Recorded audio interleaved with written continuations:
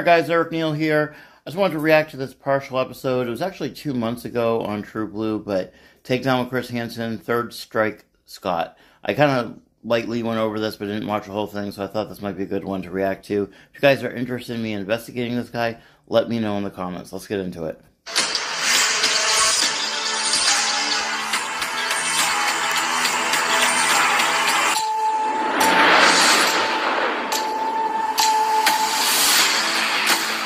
City, Michigan, a quaint town on a bay that leads to Lake Michigan, the home of the International Cherry Festival, a vacation paradise, and the location of my latest investigation.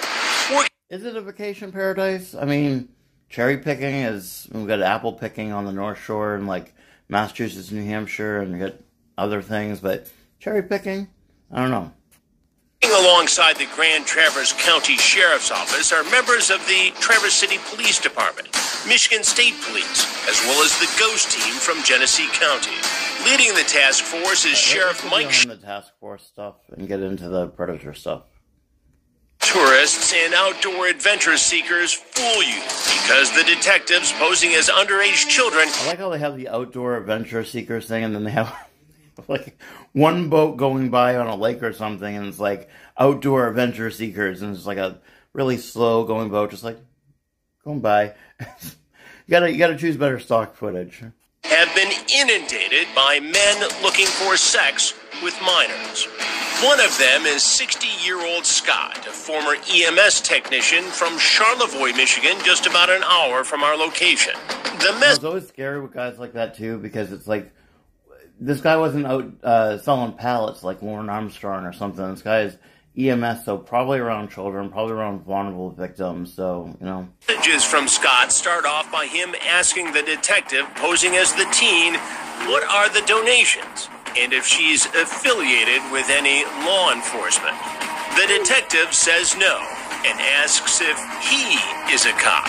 No is the answer. I like how people still believe that's a thing, that if you ask a cop if they're a cop, they have to say yes if they are. Like, that's one of the, I mean, cops are probably loving that that's like one of the oldest things out there that people just believe, but. Now he wants a photo. The detective says she doesn't want her photos online. Scott says he won't post them and that he likes to be careful. And again, make sure she isn't working with the cops. The decoy then says she's not law enforcement and that she's only 15 years old. Scott then reveals that. It- well, it actually says on the screen, no, I'm not law enforcement, only 15, and I don't want any fucking cops, is what it specifically says.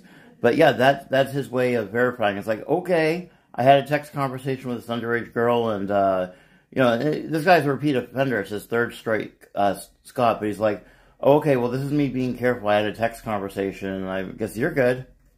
Disturbing fact that he was caught up in a Michigan State police sting a few oh, years ago. He then asks for the address and like again a, for a photo. Is that like a flex to a 15 year old girl? Hey, uh, you know, I was caught up uh, soliciting an underage minor in the past. Um, you want to fuck?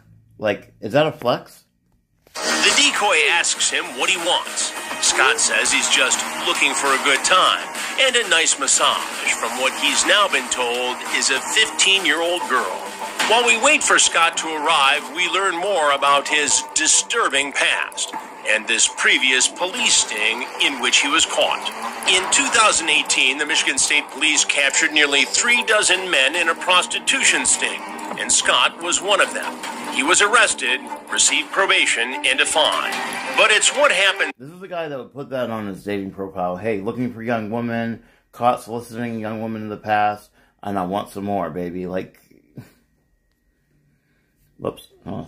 Seven years earlier, that is truly shocking and leaves us all on edge. In 2011, an undercover federal agent downloaded child pornography that Scott had made available on the internet. A search warrant of Scott's home and computer exposed a substantial collection of child pornography. Scott pleaded guilty in 2013 to receiving via the internet images and videos of child pornography. Okay, so this is a guy that is.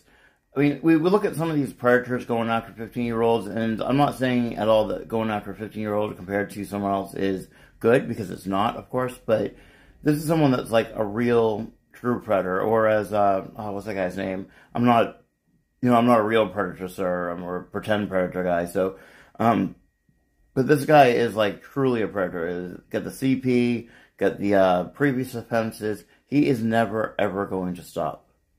Murphy. He served four and a half years in a federal prison. He was released in 2022 and was then placed on the sex offender registry. While Scott does not have a history of carrying weapons, we remain extremely vigilant as we monitor his movements when he enters the hotel.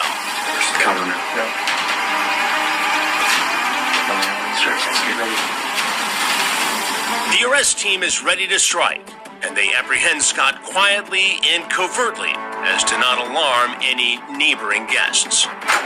Traverse City, put your hands up. Put your hands up. I wonder if they like rent out the floor or something for these. Um, I mean, you know, tax dollars there, but if they rent out the whole floor because I, I don't know. I mean, that would be pretty damn expensive. I doubt the city would authorize that. But imagine like you're just coming back from the pool with your family and you see some guy being taken down by like friggin', you know, all these guys with rifles and handguns and everything.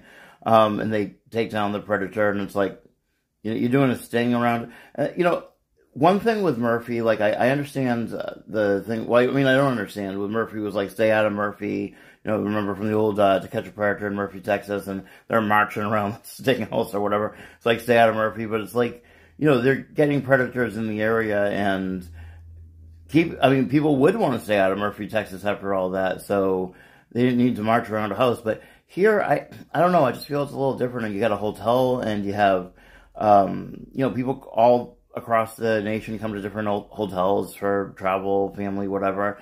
And like I said, you're there with your kids. Maybe they have a pool or something. I don't know. Maybe some dingy little motel, but uh, you know, it looks like a regular hotel.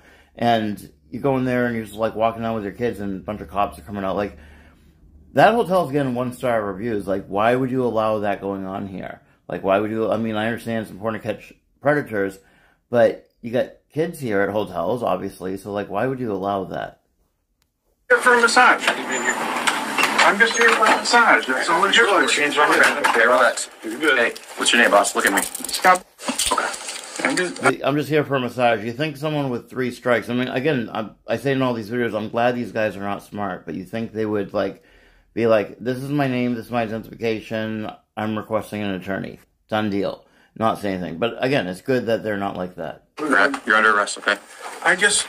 All I, you're under all I arrest. was, all I wanted was a massage. That's all I said. All right. We good? You okay? Yeah. All right. You're under arrest, okay? You understand that? Okay. Okay. Scott seems almost a little too comfortable in handcuffs, but all that is about to change. Want to have a seat? And that's because at a dimly lit hotel room desk, Scott is going to have to answer to me. Hey Scott, how you doing? Good. So it's sort of my job to kind of understand what you were thinking and how you got here tonight. And